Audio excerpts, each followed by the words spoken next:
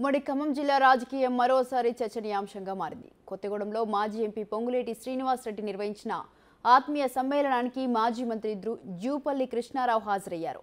పదుల సంఖ్యలో వాహనాలతో ఆయన అనుచరులు కూడా తరలివచ్చారు. ఆత్మీయ సమ్మేళనంలో బీఆర్ఎస్ సర్కార్పై విమర్శలు గుప్పించారు జూపల్లి ప్రాంతీయేతరుడు ద్రోహం చేస్తే తరిమి కొడతాం. ప్రాంతం వాడు ద్రోహం చేస్తే పాతరేస్తామన్న కాలోజీ కవితను గుర్తు చేశారు. రాష్ట్ర ఖజానాను ఖాళీ చేసిన కేసీఆర్ను ఏం చేయాలంటూ ప్రశ్నించారు జూపల్లి. ఈ విధంగా దోపిడీ చేస్తే దీన్ని ఏమనాలి? ఆ రోజు మీరే చెప్పిండ్రు రోజు కవితను కేసీఆర్ గారు గౌరవ ముఖ్యమంత్రి పదే పదే చదివిరు చదివి పదే వినిపించరు. ఏమని? ప్రాంతేతరులు దోపిడీ చేస్తే పొలిమేరల వరకు తరిమేస్తామని తరుగుతామని ప్రాంతం వాడే అయితే ప్రాంతం వాడే దోపిడీ చేస్తే పొలిమేరని పాతరేస్తామన్నారు. ఈ శ్లోకం వర్తించదా?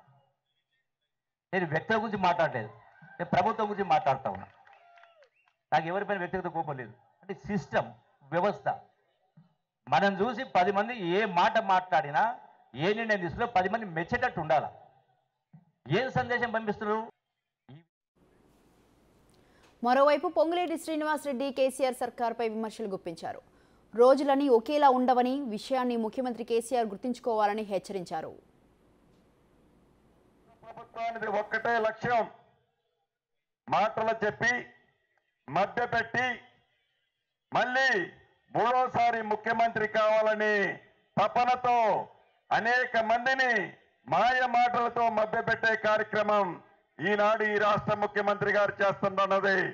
చాలా స్పష్టంగా కనిపిస్తుంది. చివరగా ఒకటే చెప్తున్నాను గౌరవ ముఖ్యమంత్రి గారు. రోజులు ఎప్పుడు మనకే అనుకూలంగా ఉండవు.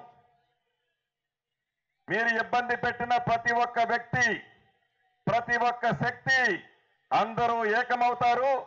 దానికి బీజం ఈ రోజే మొదలైంది. దానికి బీజం ఈ రోజే మొదలైంది.